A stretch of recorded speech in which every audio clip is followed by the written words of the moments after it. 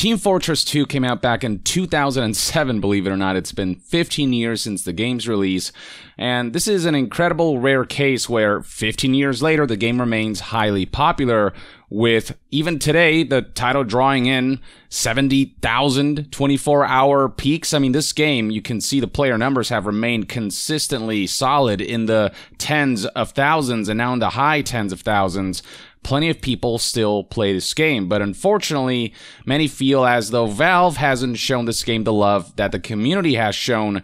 With Valve ignoring the game, seemingly it is currently plagued by bot infestation that has rendered it nigh unplayable for a lot of people. And this is a problem that especially became prominent in the last two years and has not really been addressed since. Here's an article from back in October of 2020 from News Outlet Vice that reads, Meet the guy fixing Team Fortress 2's bot problem with more bots. The popular online game is riddled with cheaters and bots, so this coder decided to make bots that go after cheaters and other malicious bots. Unfortunately, there's only so much one man can do. This was nowhere close enough to really fix the bot issues as a whole. Then we have an article from March 31st, 2021 from News Outlet Engadget, whose headline reads, Valve is still letting bots invade one of its longest running games. Team Fortress 2 has been nearly unplayable for over nine months that number would of course grow. Here we have an article from April 2021. Team Fortress 2 bots now advertising paid for bot immunity services and links claiming to provide yeah, some awful stuff. How bots disrupt Team Fortress 2 as a game has also gotten worse and worse over time. Here we have one more article from two months later. This article from Game Rant details how Valve released an update seemingly to help address this issue, but it basically did nothing. The headline reads Team Fortress 2 players report bots are back the day after the update. Fast forward a year later to this month, May of 2022, and problems still persist. This is a Kotaku article published today whose headline reads Team Fortress 2 players beg Valve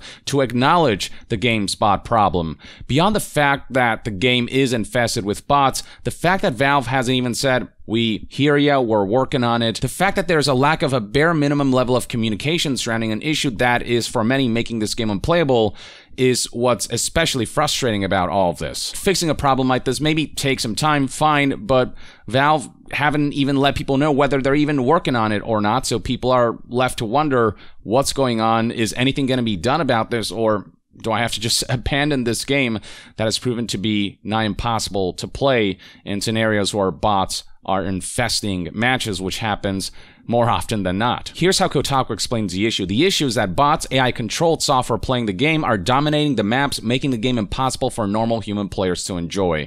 Bots can snipe regular players with 100% accuracy, and this is just one of the ways that bots ruin the game. Here we have a Game Rant article from four days ago whose headline reads Team Fortress 2 is being overrun by bots. Team Fortress 2's botting problem becomes so severe that players can't play at all, facing constant kills and being booted from servers. Yep, bots aren't just trolling players by making them unable to perform by killing them with 100% accuracy, they're also engaging in a way that gets legitimate players booted. Here's how Game Rant explains this issue in a more extensive way. Team Fortress 2 has been seeing a major botting problem since at least 2020, and it has arguably gotten worse instead of better. Valve initially addressed the problem in 2020, but the Team Fortress 2 patches were insufficient at the time, and the botting problem continues. Players report that they can't play the game at all on Valve's casual match servers due to an overwhelming number of bots that automatically snipe opponents the moment they appear outside of the team's base. The matter gets worse.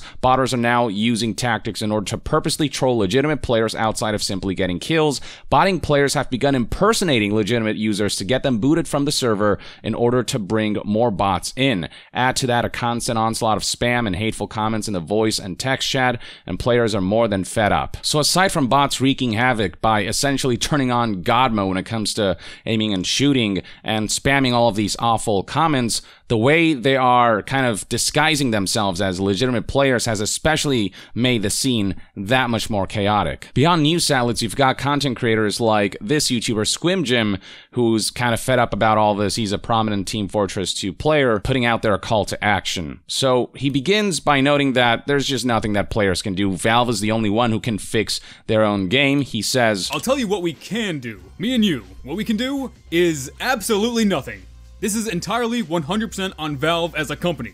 They're the only people who could stop it. That's it. But Valve has never even directly acknowledged that it's a problem. They've never talked about it. I mean, sure, they know, and they've made little band aid fixes, and they've done stupid things like preventing free to play accounts from talking, but what has that done? It's done nothing. Sure, a, a, total fix to this might take a while, but couldn't they do anything? Uh, couldn't they put matchmaking restrictions on accounts that get kicked from matches an excessive number of times in a short period? Every few months we get, quote, security improvements, but it doesn't really seem to do anything. And look, we don't know what's going on behind the scenes. Nobody does. They could have a 100% foolproof fix up and running by tomorrow for all we know, but uh, somehow I doubt that. If this had been a continuous issue that they actually kept us up to date on the fact that they were doing something about, I think we could cut them a little bit of slack. But they haven't, and we shouldn't. Valve's famous radio silence and lack of PR were annoying at the best of times, but now it's become really inexcusable. I think a lot of us went from having a pretty good view of Valve as a company to a straight up negative one over the past few years. Even before the bot problem, but that's definitely made it worse. And I'm sure there are people at Valve who do genuinely care, but their priorities are just on other things. Ultimately, though, they're still totally okay just putting out community made stuff every few months for some quick money, while the bots spam all sorts of terrible stuff on the chat and mic, and that just reflects very poorly on Valve as a company a multi billion dollar company. So, yeah, aside from just the general lack of communication, the fact that they haven't even taken basic measures to mitigate this problem while they work on fully resolving this issue, which gives the impression that they aren't even working on resolving this issue. When they do put out an update, it seems to be focused on community made content that can be sold, and they seem to be focused more on updating the monetization aspect of the game while doing nothing about the botting issue that makes matches as completely untenable. And Squimjim aptly points out that Valve is a multi-billion dollar company. There's just no excuse for them to not be able to hire a dedicated team to fix this issue and just get it over with. This problem again hasn't persisted for a couple weeks or a couple months. It's been years now. How is this still going on? With how long it's been since the issue has persisted and gotten worse, the community are fed up and are beginning to think of ways to protest. Here is what Squimjim came up with. Here's what I did. I went to the people at Valve page and found every single one of them with a public email and sent them this. Header, TF2's rampant bot problem. Hi, you gotta say hi first. TF2's bot slash cheater problem has been a major classic, issue for classic. two years now. Very little has been done to address this problem, and it hasn't been directly acknowledged by anyone at Valve or the TF2 team. If anyone at Valve could give the community an update on the situation and let us know what's being worked on and when it might be fixed, that would mean a lot. And if this email could be forwarded or shared to anybody more directly involved with Team Fortress, that would be very much appreciated. Thanks.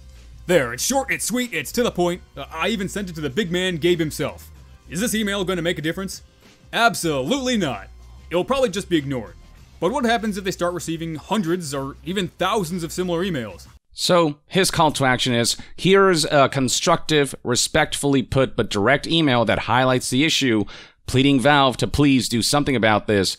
And he's basically asking as many people who watch this video as possible, for those who care, to send this email over to Valve to as many people as possible.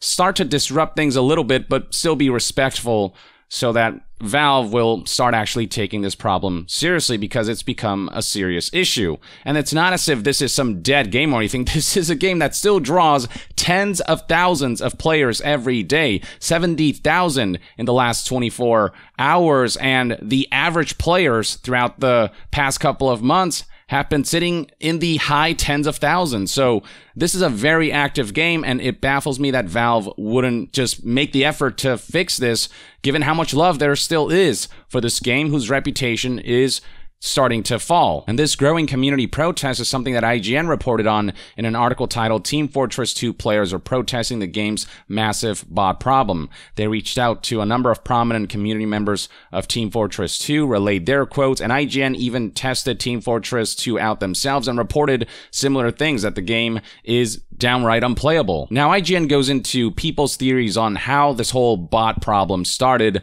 Most seem to think that things got aggressively bad around two years ago in early to mid 2020. Incidentally, this was around the same time that the Team Fortress 2 source code was leaked. While there's no specific proof, it may just be a coincidence. Several community members pointed to that period as a tipping point. So while there's no concrete evidence, some are theorizing that the source code leaking has allowed these bot trolls to make bots just that much more efficient at wreaking havoc with source code in hand. Others are theorizing that this might all be a part of a bizarre revenge plotline where botters are rallying to try and make Team Fortress 2 so unplayable that Valve would be forced to pay attention to it. Basically, some are theorizing that botters are throwing a tantrum so that Valve will just pay more attention to this game that has become something of a neglected child. Others are saying that botters are doing this for profit, suspecting that bots are trying to acquire cosmetic items through play that they can then sell for real money on various marketplaces places, or plain and simply could just be that botters are miserable trolls and are out there enjoying trolling. And as other outlets have detailed, some of the ways that bots disrupt Team Fortress 2 include spamming chat with homophobic or racist remarks, outside links, or just plain rude or obnoxious messages. Most of the bots play as snipers, and because of their unnaturally precise aim, they're able to headshot and kill players almost instantly without giving them a chance to fight back. Some bots take on the names of other players in the match and then initiate votes to kick the original player player, resulting in legitimate players being removed and more bots flooding in. Some legitimate players have complained that they've been kicked from matches simply for playing a sniper class because fellow human players assumed they were a bot. Other players have reported running across bots that cause the server to lag significantly or simply cause the game to crash if anyone tries to kick them. And none of this is limited to an occasional bot here or there. As Jacob von Bugman, a regular Team Fortress 2 player, explained to me, there are people who pay for dozens of their own bots flooding servers, grouping up with one another, and overwhelming human players and in-game chat. Aside from the range of ways in which these bots can disrupt the game, the quantity of bots has been increasing and it's just easier than ever for botters to continue trolling and disrupting a game that Valve should be supporting a lot more given how many players it continues to draw in. And there's literally an entire section here where the editor of this IGN article details their own experience with the game, and they also said you cannot play Team Fortress 2 as it was intended. I decided to investigate the bot problem itself to see if it was really as bad as everyone described to me it was. And you can read this for yourself. They basically describe having encountered the exact same issues that community members have been reporting about these last two years. This article concludes this section with it was impossible to do anything resembling playing a normal match of Team Fortress 2. And having reached out to frustrated members of the Team Fortress 2 community, you've got people like Jacob von Bugman talking about how so many amazing moments in Team Fortress 2 are now completely ruined by these uncaring instant killing nuances and pleads to Valve that so many people are still enjoying this game, and Valve needs to do something for us still holding on and enjoying their game 15 years later. Basically, show some care and show some loyalty for the community that has kept this game alive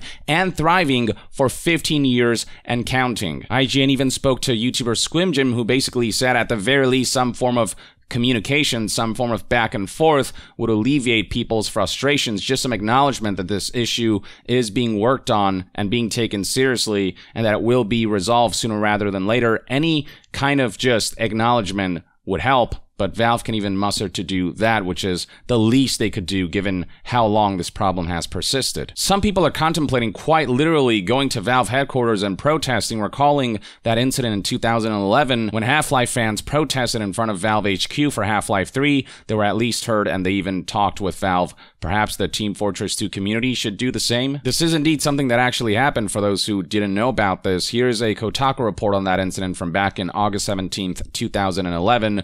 What did Gabe Newell say to the Half Life 3 protesters. Valve did treat the protesters who came out to demand Half Life 3 nicely, like bought them pizza and gave, gave them drinks and then gave them a tour of the studio and actually like had a conversation with them. There's even a photo of this posted by RTF2 bot. Here is a tweet that basically says the exact same thing this Reddit post says, but embedded on this tweet is this photo of Gabe Newell kind of coming out and greeting the protesters to have some kind of back and forth with them. Now, a prominent former Valve developer spoke out, Chet Faliszek. He insisted that people should not do this, do not harass employees, voice actors, etc. Do form communities to play. There are so many amazing communities hosting games to play or making new mods. The Wave Zombie game in TF2 MVM is amazing. The TF2 community is amazing and better than this. And while I do agree that if protest escalates to a point where it starts to become harassment and violence, then that's a line that you shouldn't cross and those people should be shunned. It could also be argued that Valve could be better than this. Valve absolutely has the money and resources to fix Team Fortress 2. They're just choosing not to. And for a community that's been waiting so long and just had no communications about this, I hope he at least understands how frustrating this can be for those players who have been loyal to this game and you know, who want to play this game because they love this game, have an attachment to it, and communities have been formed around it. But all of that is being risked by Valve's inaction surrounding this game. Now, the argument could be made that there are more important things to protest than the release of Half-Life 3 or the fixing of a video game. Sure, but just because there are worse things out there doesn't mean that a bad thing isn't bad, you know? And when a multi-billion dollar gaming company doesn't even seem to be making the attempt to meet their community halfway on an issue that is rendering a game unplayable, and when it feels like people are not being listened to, and when that's gone on for so many years, then people feel the need to engage in some kind of disruptive action in the hopes that this will cause Valve to actually listen because right now it feels like Valve has gotten too comfortable ignoring the Team Fortress 2 community. So they're saying, let's do something disruptive since nothing else seems to be working. And it's been two years since this issue has become this bad. And it's gotten worse over the years. Things have gotten bad enough that the Team Fortress 2 community is even reaching out to Team Fortress 2 voice actors to see if they have any contacts, if they could somehow persuade Valve to do something about this. And one of the voice actors actually responded to the community, medic voice actor Robin Atkin Downes, who also, fun fact, plays Kaz Miller in Metal Gear Solid 5, among a number of other prominent roles. He's definitely a very prominent voice actor. He tweeted this, and this tweet you can see went viral, almost 40,000 likes. And Robin Atkin Downes basically relayed that he doesn't work at Valve, so no promises, but, you know, I'll try to reach out and see what happens. He said, TF2 community, I hear you. Please understand that although I worked as an actor on the game. I do not work for Valve because actors are essentially like freelancers. They are employed for the purpose that they're hired for, which is to bring a character to life and to provide a performance. But after that, a voice actor's tenure with the company ends. They're not a formal employee. So, you know, there's not that much Robin Atkin Downes can do about it. But that being said, I will do what I can to help you. I will contact those I know at Valve this week and ask them about the situation, which is very generous of Robin. He didn't even have to respond. He shouldn't really share the burden of this situation given that he's not an employee at Valve. But he's provided more communication about this whole situation and given some form of relief. Unlike Valve, who's given the Team Fortress 2 community nothing but the silent treatment. And that's especially what's causing all this frustration. If Valve tells the community, here's what's going on, here's where we're at in resolving this issue, and we're to do this, just please give us some time, then the community will be like, all right, there's some acknowledgement and they're asking us to wait. And, you know, that way they can be a bit more patient. But when you leave an already frustrated community in the dark and when you leave them that way for multiple years, yeah, expect that they're going to start to get a bit more disruptive until they feel listened. I do think that what Squimjim presented here is a good call to action where it doesn't feel like it's escalating to the point of harassment and violence, but is direct and is disruptive enough if it happens en masse that it could potentially cause Valve to reevaluate their priorities and actually give Team Fortress 2 the attention that it deserves. This game is too alive and well and thriving for Valve to let it go down like this. So fingers crossed with this recent wave of protests and reports and content creators speaking out that Valve will actually do something about this because there's just too much love around this game for Valve to treat it like it's a forgotten child. But that's just one man's take on this situation. Let me know in the comments below what your thoughts and opinions are on the bot infestation problem surrounding Team Fortress 2. And if you've played Team Fortress 2 recently, what has your experience been like with this game? Share your thoughts in the comments below, and to be further updated on all things gaming news, reviews, and discussions, stay tuned right here on YongYea. I'll see you guys next time. Yong out.